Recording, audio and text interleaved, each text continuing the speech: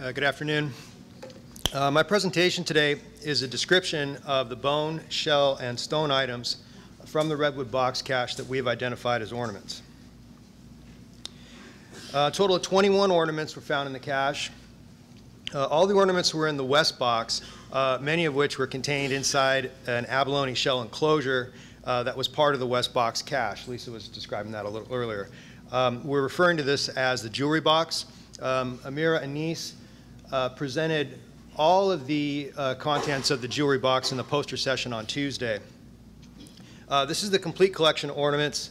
Uh, We have two abalone shell rim pendants, four bird bone pendants, uh, soapstone pendant, and two soapstone pendant blanks, an ochre-stained pecten shell pendant with a perforated umbo, a red abalone pearl pendant, um, a pair of eccentric and highly stylized uh, circular shell fish hooks, uh, which we're calling ornaments, uh, five soapstone beads, three abalone shell buttons, um, and as Lisa said, one of those buttons was too fragile to be photographed, so it's not shown here.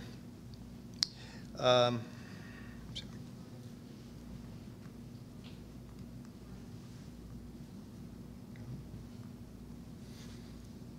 Uh, The ornaments were almost evenly distributed between the west box and the jewelry box.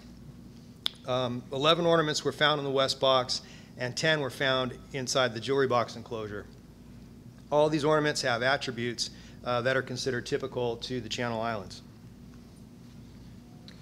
Um, Almost half of the ornaments are pendants of various types. Um, Here we see the five west box pendants, uh, abalone shell rim pendant, uh, two bird bone pendants, the uh, steatite pendant, or soapstone pendant, and pendant blank. Uh, These are the jewelry box pendants, and ano- another uh, shell rim pendant, uh, two similar style bird bone pendants, uh, the pecten uh, with the perforated umbo, and an abalone blister pearl pendant that is really gorgeous. Uh, Most of the pendants are of um, this sort of elongate style with either uh, one or two perforations on the proximal end. Um, Here we have the west box uh, bird bone pendants, the dorsal and ventral view. These are um, uh, based on the concavity, uh, probably about, uh, made from a bird, probably around the size of a cormorant.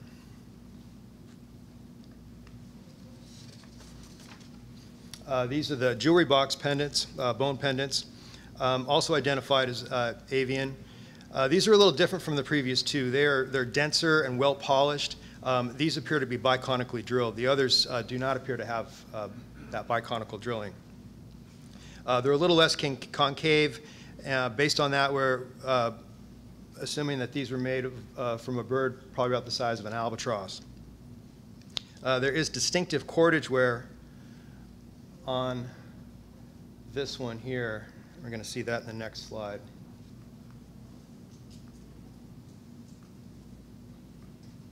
Here's the cordage wear. Uh, This is a really interesting wear pattern. Uh, It's an offset single perforation, and the cordage was apparently wrapped around the back side.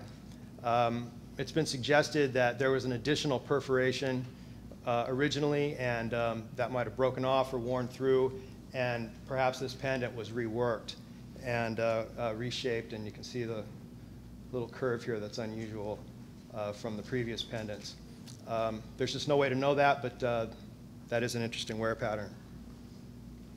Uh, Soapstone beads, uh, we have five soapstone beads, um, three, uh, uh, two beads, and the one in the center has a center perforation. Uh, This is a biconically drilled bead. We'll see the biconical drilling on that. And then we have a, a, a ring bead.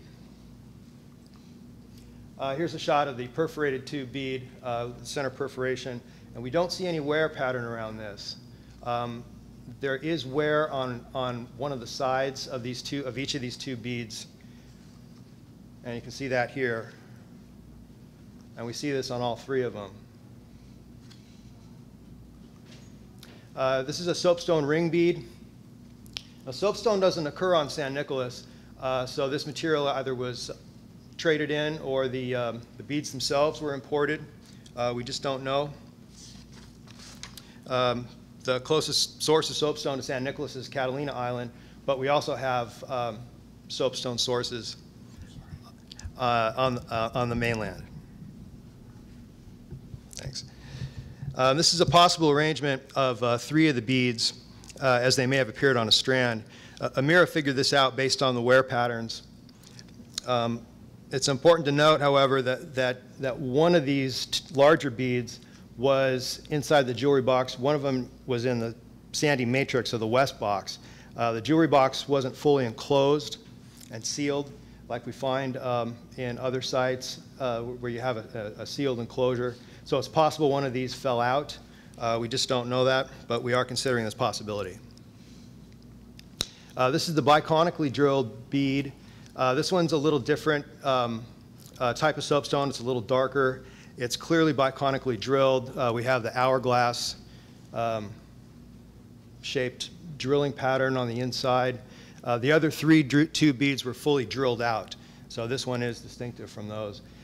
Uh, We don't see any wear patterns on this. Um, You know, perhaps uh, it's unfinished, or it was strung between two other items, so that's why we don't have any wear. Uh, The shell ornaments are really interesting. Um, All of these are, um, have attributes of typical Channel Island style, and they're all made from local materials that would have been readily available on San Nicolas.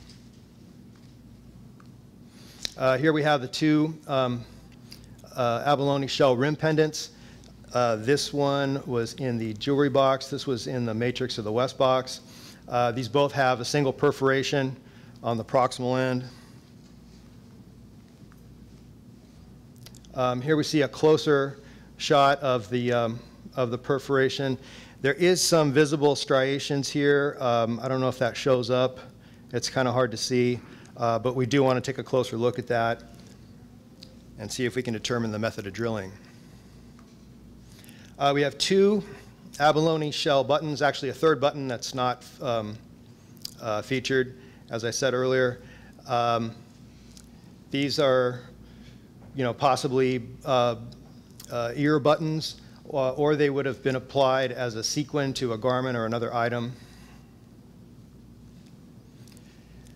Uh, Here we have uh, ochre stain pecten. Uh, It's an Argopecten uh, with a perforated umbo, and the ochre um, is really ground or rubbed in. So that's very interesting. And here are the pair of, uh, of fish hooks. We're calling these ornaments. Um, they're highly stylized, as you can see. Um, again, these are made from local materials, probably red or black abalone. Um, and the basic shape is typical of the California islands, except for that, uh, that barbed and ornate design. Um, there's no visible cordage wear, so I didn't include these with the pendants.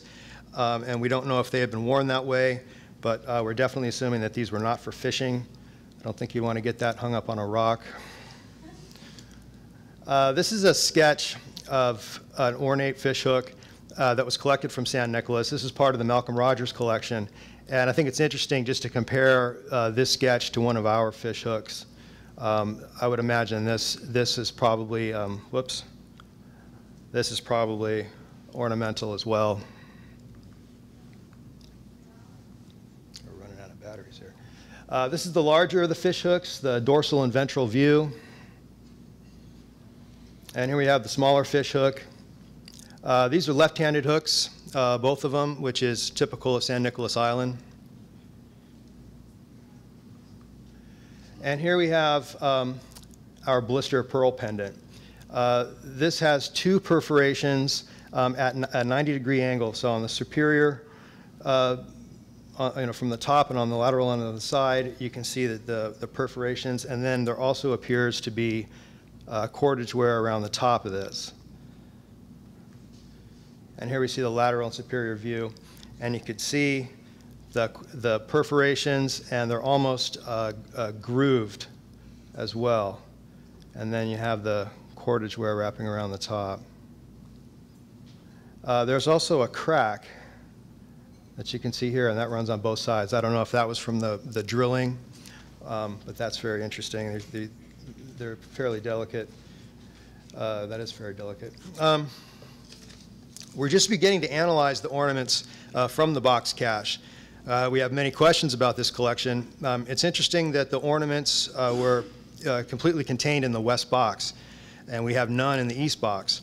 Um, so we intend to further investigate the, the entire contents of both boxes uh, to see if we can reveal some other patterns between artifacts and raw materials included with them. We plan to continue to investigate museum collections uh, to see if we can find some archaeological and ethnographic analogies of these ornaments elsewhere. And as I indicated earlier, we'd like to determine the source of the soapstone uh, used to make the tubular-shaped beads. And we also intend on conducting some replicative studies. Uh, there were some metal items and raw materials found in the cache, as well as items that may have been used to manufacture tools and other artifacts, such as the burnishing stones. Uh, perhaps we can determine whether or not objects in the cache, such as the metal nails or the burnishing stones, uh, could have been used to manufacture um, any of the formal artifacts found in association with them.